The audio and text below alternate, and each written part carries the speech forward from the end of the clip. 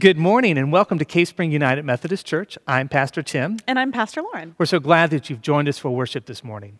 As we get started, just a reminder somewhere around this video, you're going to see a link to connect to our Connect card.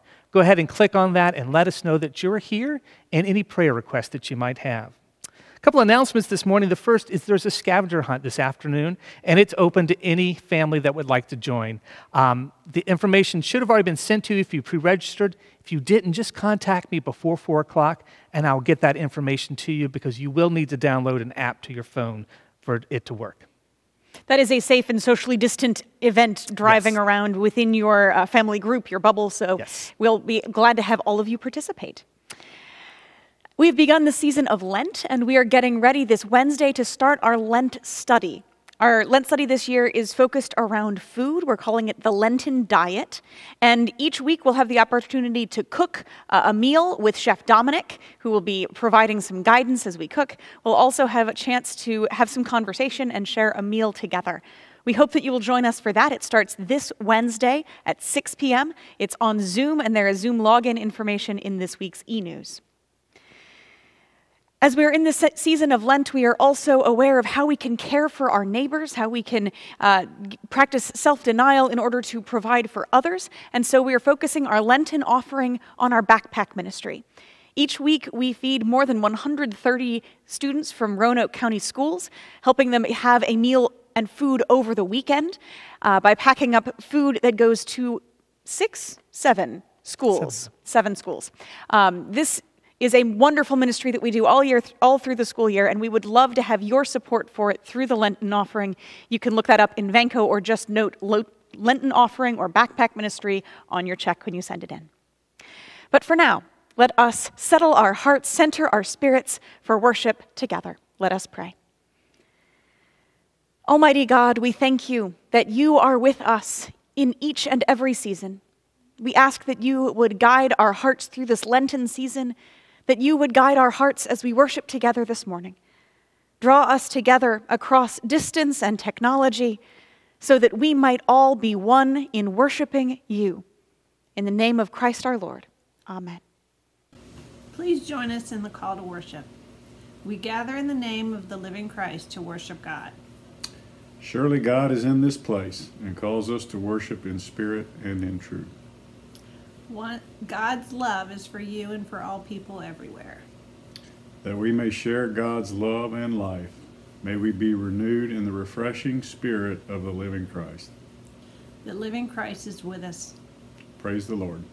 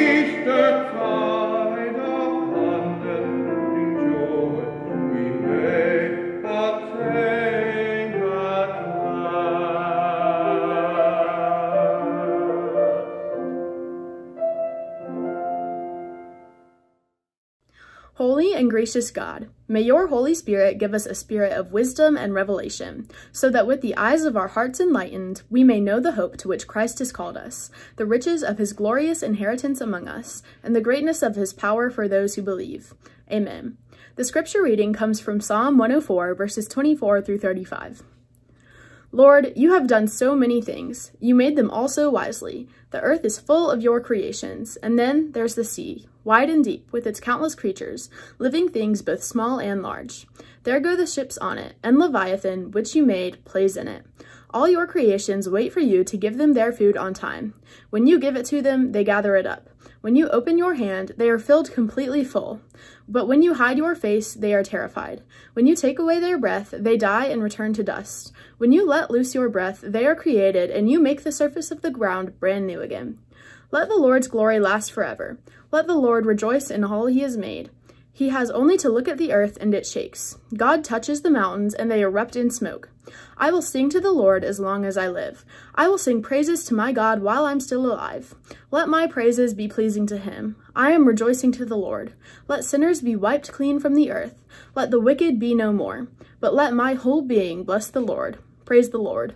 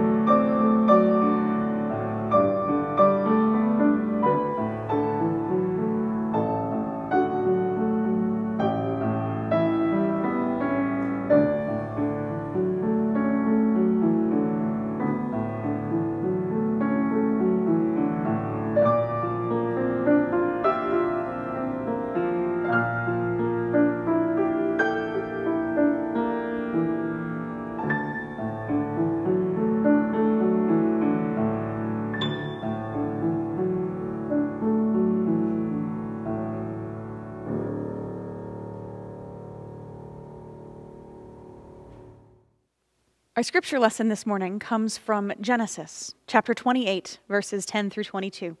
Listen for the word of God.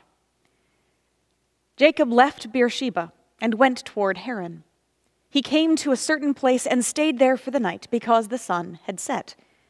Taking one of the stones of the place, he put it under his head and lay down in that place. Then he dreamed that there was a ladder set up on the earth the top of it reaching to heaven, and the angels of God were ascending and descending on it. And the Lord stood beside him and said, I am the Lord, the God of Abraham, your father, and the God of Isaac. The land on which you lie I will give to you and to your offspring. And your offspring shall be like the dust of the earth, and you shall spread abroad to the west, and to the east, and to the north, and to the south. And all the families of the earth shall be blessed in you and your offspring. Know that I am with you and will keep you wherever you go and will bring you back to this land.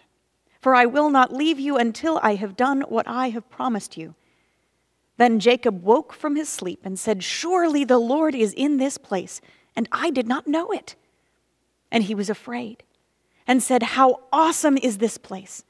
This is none other than the house of God, and this is the gate of heaven.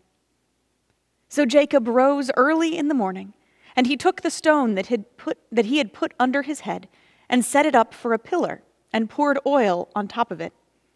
He called that place Bethel, but the name of the city was Luz at the first.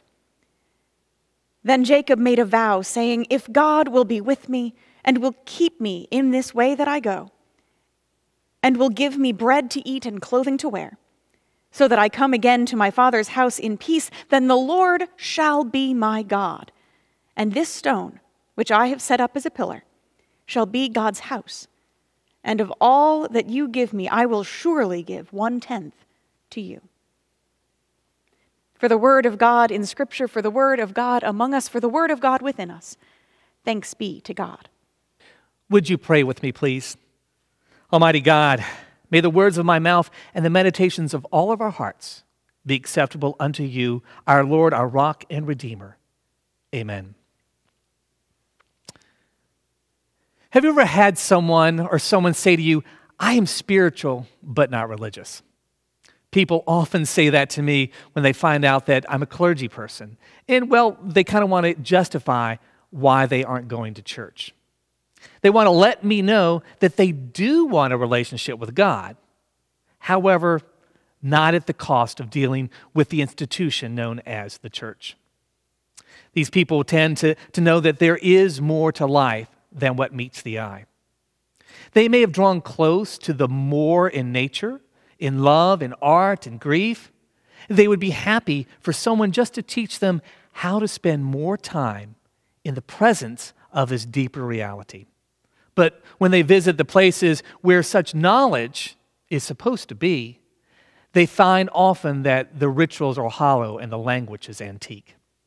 Even those who, of us who have grown up in the church will sometimes ask, Isn't there more to life than what I've experienced at church? Where is the secret hidden? People seem willing to look all over, spending hours and hours launching prayers to heaven. And the reason many of us cannot find the X marks the spot is because, well, we're already standing on it. We lack the willingness to know we've already have everything that we need right where we are to do and experience the divine. Have you ever thought about where you intentionally go to meet God? Can you remember perhaps the times or places where your spirit was awakened to the presence of God? Perhaps more than any other time or place. Perhaps even without knowing that you were going to have an encounter with the Holy One. I'm a huge fan of hiking, and in my biased opinion, we live in the most beautiful area on the earth. We are wrapped in the majesty of the Blue Ridge and Appalachian Mountains that surround us. And my three favorite hikes are the Peaks of Otter, Dragon's Tooth, and of course, McAfee's Knob. I, would venture to guess that I've hiked the peaks of Otter at least 25 times since the beginning of this pandemic. It's a lot to know. There is just something spiritual about climbing these mountains, at least for me. How can anyone possibly not see God in all the creation that surrounds us? To know that there is something much, much bigger than me, and I'm invited into the presence of God in places like these mountaintops. One of my very favorite hikes was a sunrise hike to McAfee's Knob with a bunch of teenagers. We'd stayed up all night long. We went to a midnight movie, and then at 2 a.m., we went to Denny's to eat breakfast, and then we headed out on over to Salem and we to the parking lot off Route 311. We arrived in plenty of time to hike and see the sunrise. But as soon as we got out of the car and got in the trailhead, we realized we lacked an essential tool for this hike in the night flashlights. So we jumped back in the car and we headed on down to Salem to the Walmart. And there we purchased some headlamps and we hurriedly jumped back in the car, got back on the trail. But now we were behind time and we had to huff it up the mountain fast. Well, I don't know that my legs are shorter than everyone else's, and I have to walk twice as far as these tall teenagers. And I just couldn't keep up with them. I was heaving for breath, and I knew I would never make it in time. And to top it off, well, the mountain was covered in fog. We didn't even know if, when we got to the top if we'd be able to see the sun at all. Well, I arrived at the top about 10 minutes behind everyone else. But as I looked over the edge, the fog was situated below our vantage point. And according to my watch, the sun had already risen. We just couldn't see it. It had not broken through the clouds. So as soon as we were all there together, the sun broke through the clouds, and it was just such a glorious sight to behold. We were standing on holy ground. Holy ground for sure. But those mountains, well, they're not the only place that I've encountered God. I, I can think of many such places that I've been, such as, well, the poorest counties of West Virginia, or the Mayan villages on the mountains in Guatemala, or the dirt streets of Costa Rica, or the underpasses in Atlanta, the rescue mission of Roanoke, and so many more. Where are the places where your spirit awakened to the presence of God? Was it in a place that you expected, or was it a place that was unexpected, like Kroger or the gym? Well, today we're entering a sermon series on a book written by Barbara Brown Taylor, and it's entitled An Altar in the World.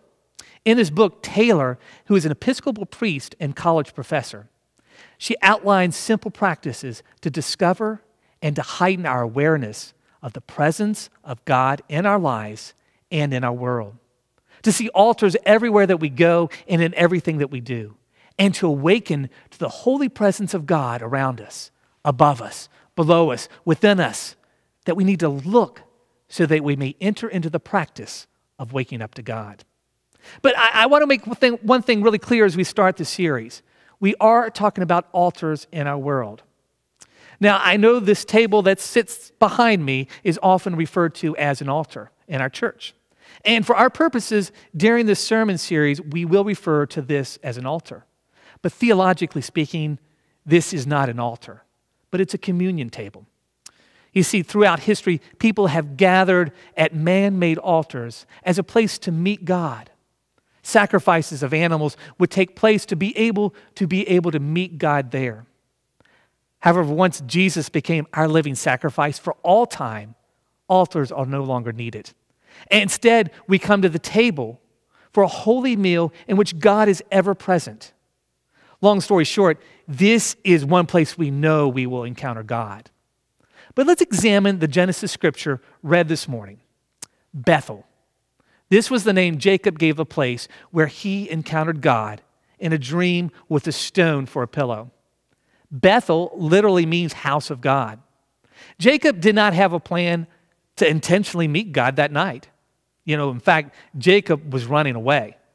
He was running away from his home because he lied and connived to steal the family blessing and inheritance from his blind and dying father, effectively taking it away from his twin brother Esau. When we catch up with Jacob in this morning's Bible story, Jacob is on the run from Esau, who is heartbroken that Jacob stole his blessing and out for revenge. Alone and afraid, Jacob flees into the desert. He isn't looking for God and he certainly doesn't expect God to start looking for him. And still, God comes. This is the story where the familiar repetitive hymn that, you know, probably we all learned in Sunday school comes to mind. We are climbing Jacob's ladder. But you see, the ladder isn't the most important part of the story. The important part of the story is that God shows up and Jacob awakens to God's presence. You see, after running all day, Jacob was exhausted. Alone, he was afraid, and Jacob decided to go to sleep, and he finds the stone to use as a pillow.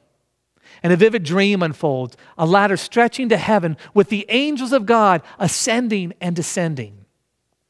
And then God's voice Remember, I am with you. I will not leave you until I have done what I have promised. The God he's never paid attention to breaks out into his dream and speaks, I'll stay with you always. And when Jacob leaves his dream state, not only does he awaken from sleep, he wakes up to God. He, he doesn't feel quite as alone anymore. It's the same wilderness he was in, but something was different. And he shouts, Surely, surely the Lord is in this place, and I didn't even know it. How awesome is this place? This is the gate of heaven. Having woken up to God, Jacob knew he had to mark this spot. And Barbara Brown Taylor says this when God encounters us in our ordinary lives, then we have a choice. We can keep on going and we can ignore what has happened, or we can set down an altar. We can mark, even just within ourselves, that moment, that spot as holy. And that's what Jacob did.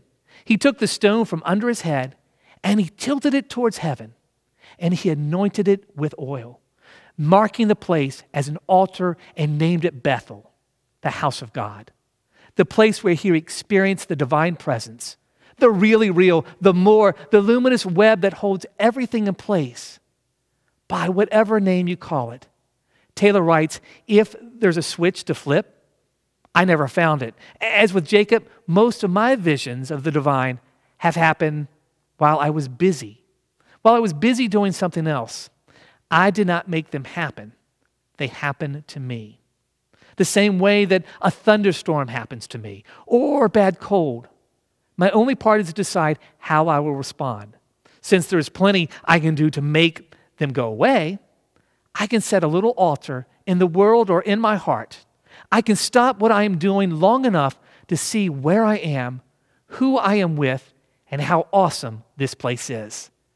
I can see it for once instead of walking right past it, maybe even setting a stone or saying a blessing before I move on.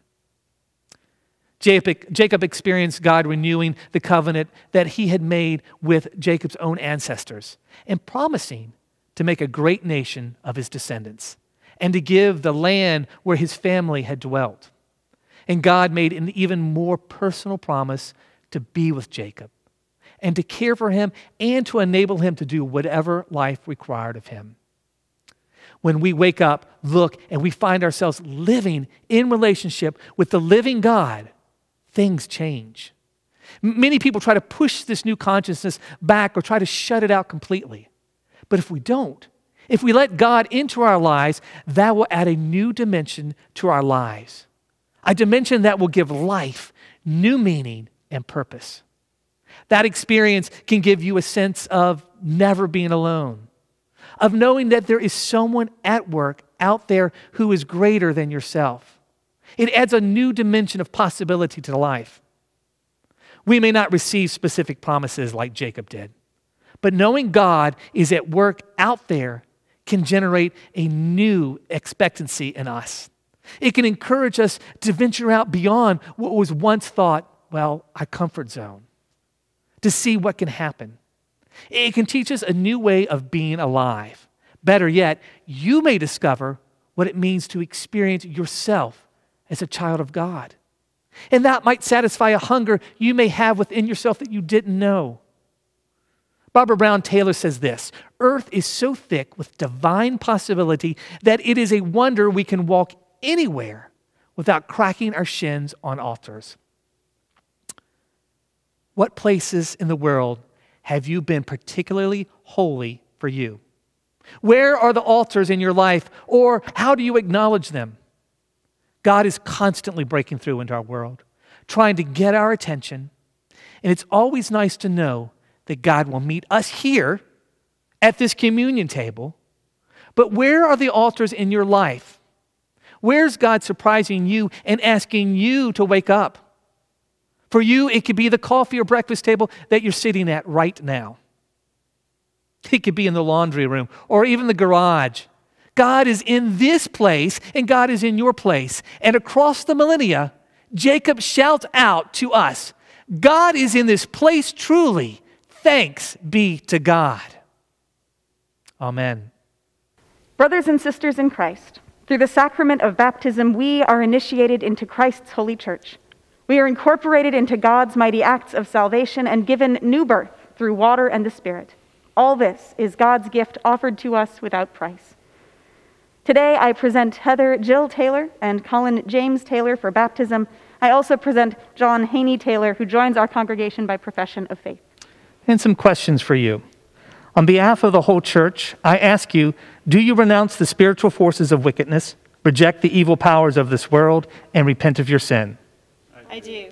Do you accept the freedom and power God gives you to resist evil, injustice, and oppression in whatever forms they present themselves?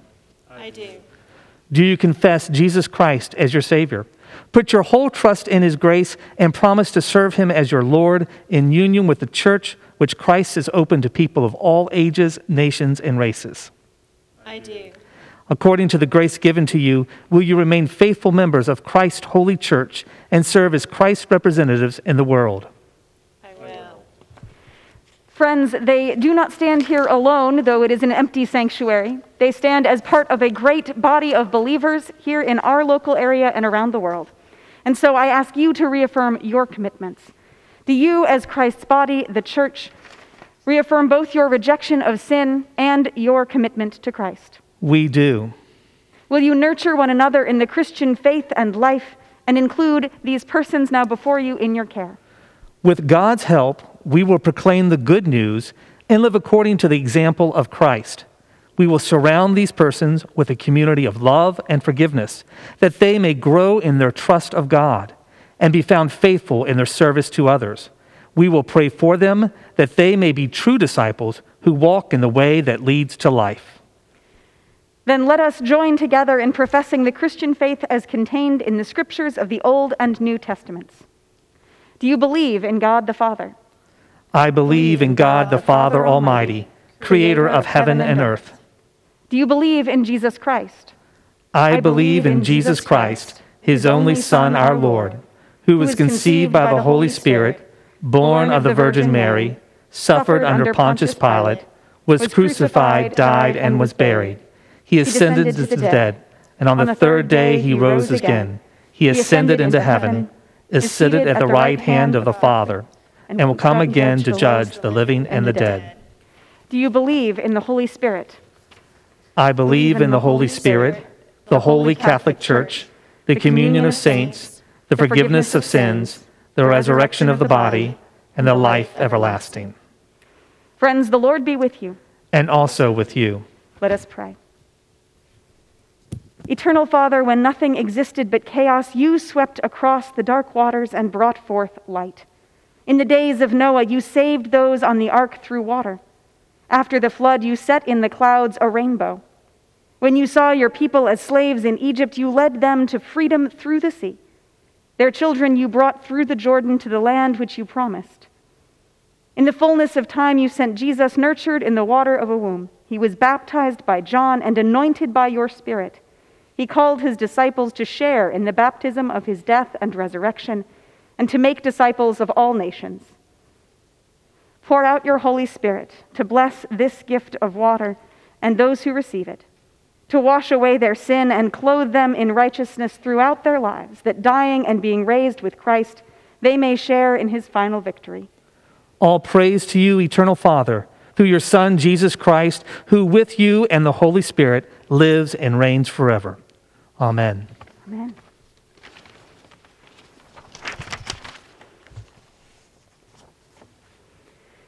Heather Jill, I baptize you in the name of the Father and of the Son and of the Holy Spirit. Amen. The Holy Spirit work within you that being born through water and the Spirit, you may be a faithful disciple of Jesus Christ. Amen.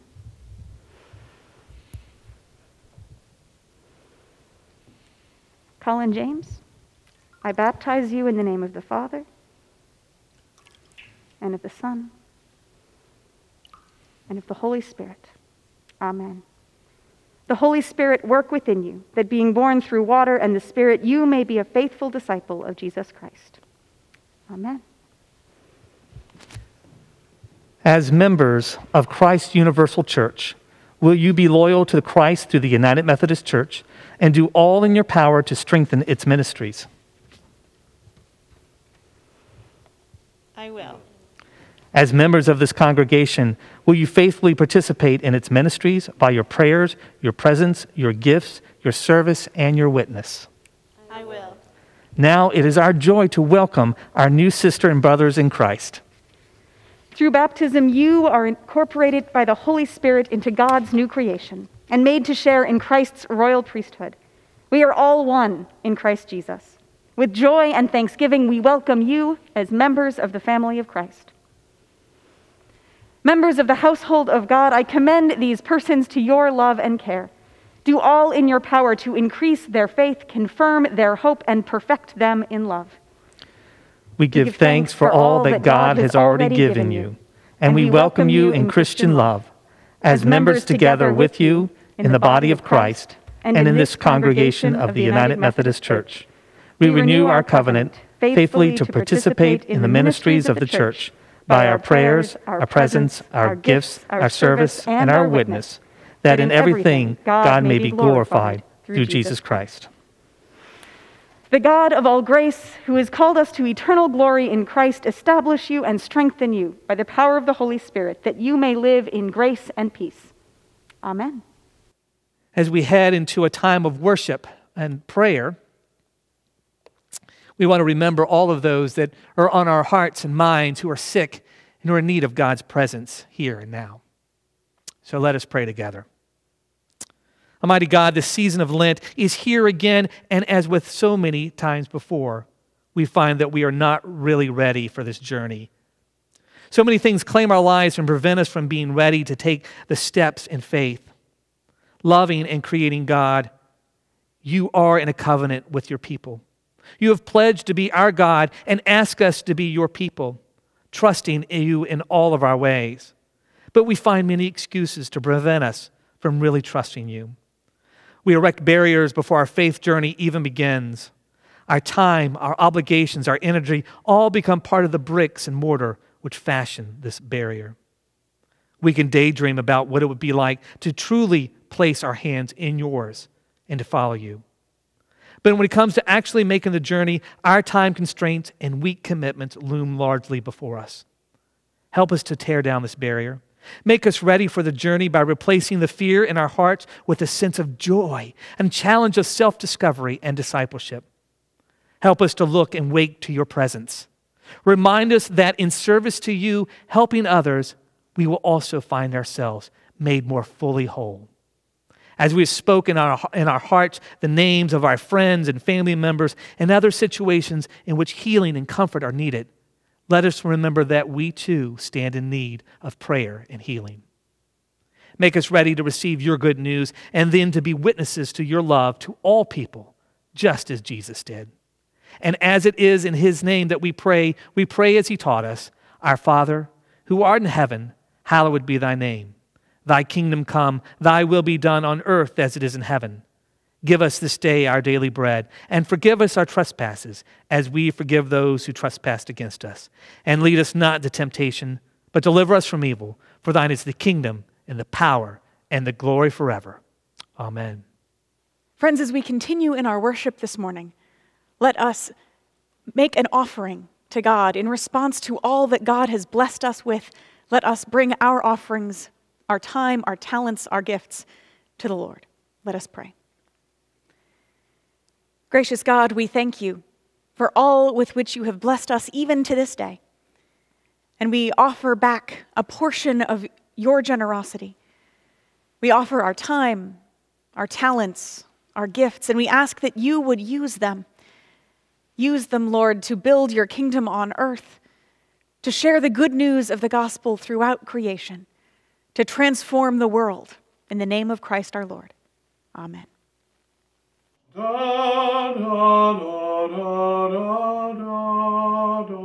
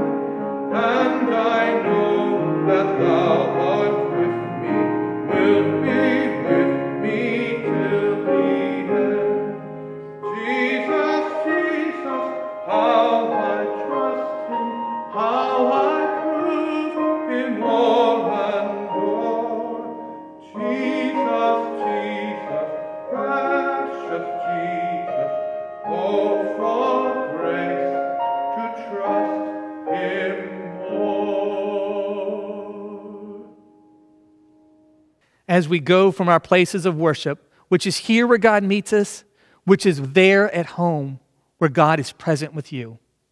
We go out into this world where God wants to encounter us each and every day. Wake up to his presence. Know that God is with you every step of the way. Amen.